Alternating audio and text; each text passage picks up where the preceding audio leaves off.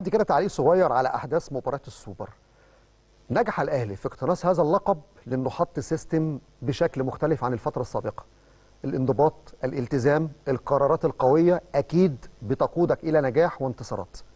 كهربا وموقف كهربا اتقفلت الصفحة مفيش أي تعليقات على هذا القرار وعقب وصول البعثة على طول بعد ما التزم كهربا واعتذر للجهاز الفني واعتذر للكابتن محمد رمضان المدير الرياضي وتدخل لاعبي النادي الأهلي بما يتوافق مع أسس ونظام النادي الأهلي تم قبول الاعتذار ومشاركة كهربا في التدريبات بالأمس ومشاركته في تدريبات النهارده كمان. والرؤية الفنية حسب المشاركة في الفترة القادمة بترجع للمدير الفني مارسيل كولر. خلاص موضوع نقطة من أول السطر اتقفلت الفيلم والقصة اللي كان حاول البعض يكبرها شوية لما شاف لعيبة الأهلي ماسكة تي شيرت كهربا رقم سبعة أثناء التتويج ببطولة السوبر.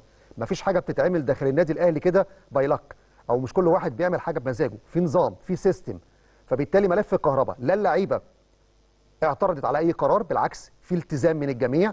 اللعيبة تدخلت عشان خاطر كهربا اعتذر اللاعب وافق الكابتن محمد رمضان. امبارح شفنا الصور مع مارسيل كولر. المشاركة الفنية بترجع للمدير الفني. طبعا البعض اللي حاول بقى إيه؟ يحط شوية touch كده معين أو حبة spicy عشان يشعل المسألة طبعا الموضوع باظ ما نفعش الاهلي كسب والموضوع انتهى. الفترة الجاية مباراة العين. بعد مباراة العين الدوري.